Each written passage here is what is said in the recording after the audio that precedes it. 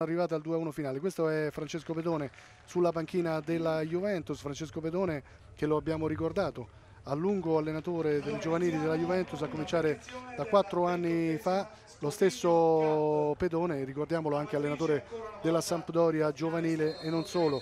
Dall'altra parte Marco Alboni, Marco Alboni che a differenza di, di Pedone per 14 anni ha lavorato esclusivamente nel settore giovanile della Lazio, ricordiamolo dai pulcini agli esordienti, agli esordienti giovanili fino agli allievi nazionali o under 17 quindi tutte le giovanili in casa biancoceleste. Stiamo rivedendo intanto gli highlights di questo confronto un confronto che ci ha detto di uno strapotere da parte della Juventus e questo è il gol del vantaggio con Asa nel corso della prima frazione di gioco su assist di Turco da destra. La Juventus già alla metà del secondo tempo dopo questo primo vantaggio con il colpo di testa in ritardo Bedini e poi Magro qui incolpevole, portiere della Lazio classe 2005 è arrivato poi il gol di Galante, palla sul sinistro come vedete 2-0 comodo da parte della Juventus, questa a metà della prima frazione sembrava chiusa e invece poi nella ripresa grande carattere della Lazio che riapre la partita, Lazio che giocherà addirittura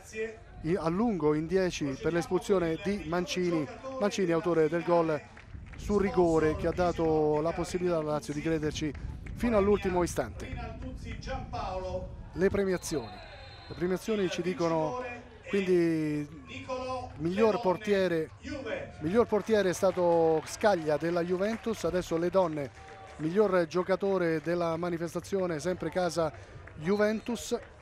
Questi sono tutti i premi che vengono dati qui cioè, ci sarà anche un altro premio che non riguarderà Lazio Juventus perché il, il capocannoniere della manifestazione è D'Agasso del Pescara.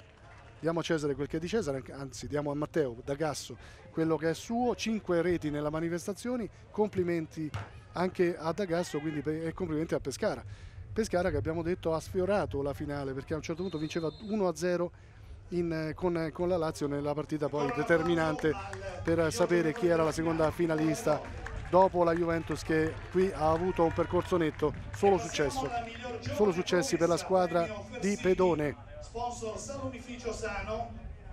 Intanto stiamo ancora vedendo, intanto ecco ci fa piacere sottolineare che viene, viene premiato anche Troise, classe 2005, con il premio Ferzini, io ricorderei anche chi era Mirko Ferzini, Mirko Ferzini era un giocatore della Lazio Primavera che purtroppo eh, purtroppo un incidente stradale ce l'ha tolto molto presto, aveva solo 16 anni, 17, stava entrando nella squadra primavera e purtroppo eh, un incidente stradale, se non sbaglio a Fiumicino, non vorrei sbagliare, ce l'ho portato via, quindi il premio Ferzini. Ricordo che il campo, il campo centrale del, del, um, di Formello è proprio dedicato a Mirko Ferzini. Intanto ci sono